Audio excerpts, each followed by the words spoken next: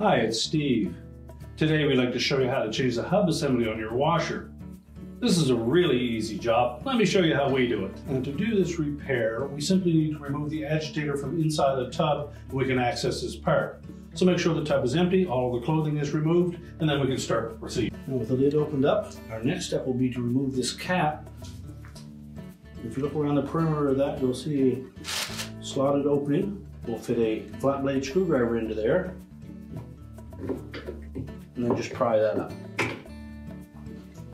Now once we pop that off, that will expose a bolt that secures that agitator to the transmission shaft using a 7 16 socket or an 11 millimeter socket. Just loosen that bolt.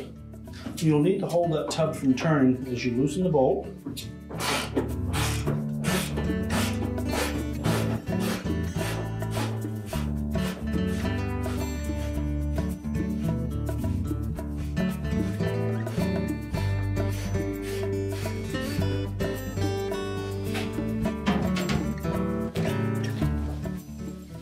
Just grasp the fins on that agitator and pull it up.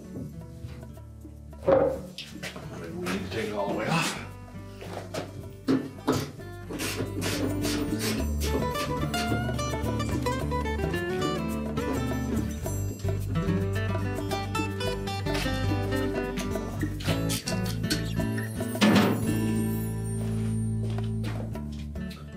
Now once the bolt is loosened completely, just lift up on that agitator and pull it directly off the shaft.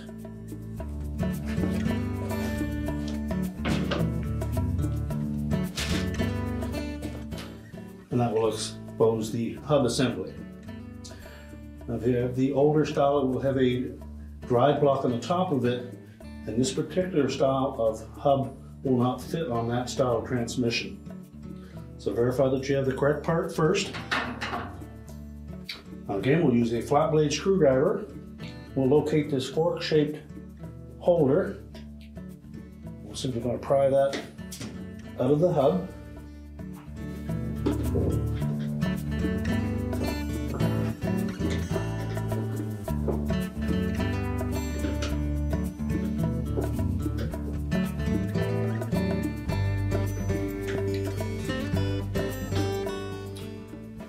Remove that all away and discard it. And next we'll remove the six retaining screws that secure that hub to the inner basket. And before we remove those screws, you'll note that there are a number of holes around the base of that tub. And we really should cover those just in case we drop one of those screws as they roll down into that opening, they're very difficult to get back out. All right, next we'll just remove those six screws.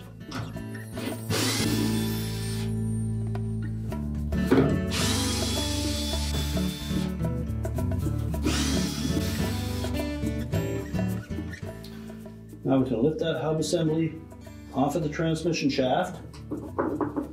If it doesn't come off easily, you can just reach in underneath and pry it off. We'll discard the old one.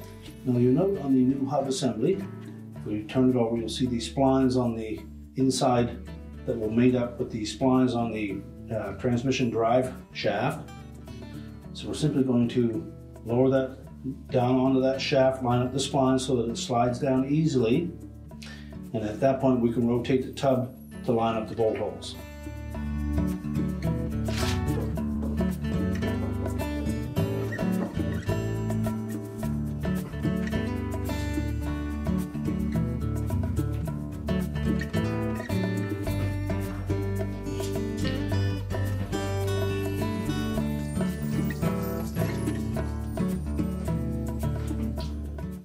Just rotate the tub until those holes line up. Push that hub down as far as you can push it. Then we'll use the screws to draw it down the rest of the way.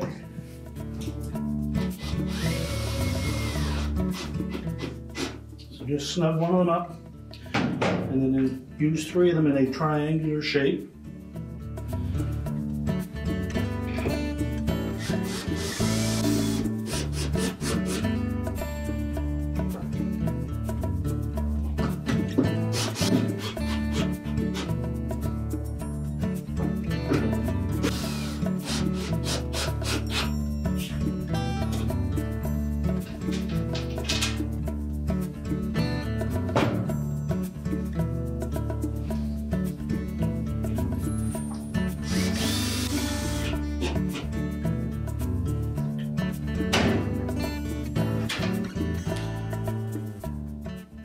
Now with all six screws in place, we'll next put the fork through those slotted openings and that will engage a groove on the side of that basket drive tube.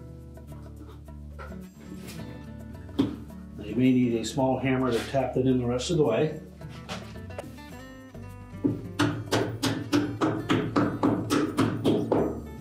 Now once that's fully inserted, we'll remove our rags on the bottom of the tub and then we'll put the agitator back in place.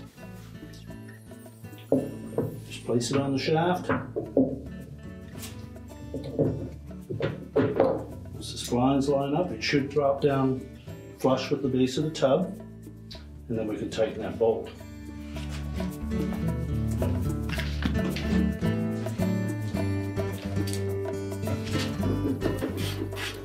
Again, you'll have to hold the tub still while you tighten that bolt.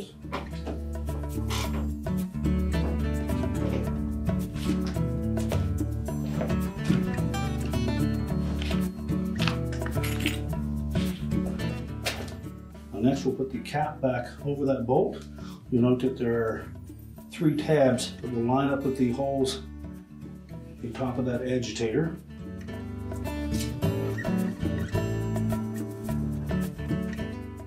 That should put the slotted opening over one of the ribs on the edge agitator. Ensure that's snapped in place, and then we can close it up. Now that we have the part in place, the last step of this repair is to do a calibration. You'll note when you open the part that there was a sheet that gave you a specific directions on how to do a calibration of this washer once you've done your repair, and it's very important that you do so. Once you've done that, your repair is complete.